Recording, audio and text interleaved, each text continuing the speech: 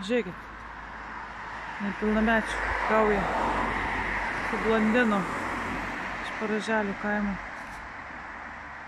Dabar jau ne keturi, o šeši. O ta mašina, kur, kur čia jinai? Prie tūliko stovi, įvažiavo į mūsų gatvelę.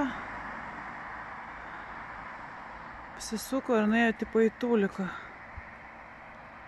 Va čia tas nenormalus, kur prieš eismą važiuoja. Žiūrėkit, ir dabar prieš eismą važinėja. O, nu gal ta mašina tipo atsitiktinai. Žiūrėk.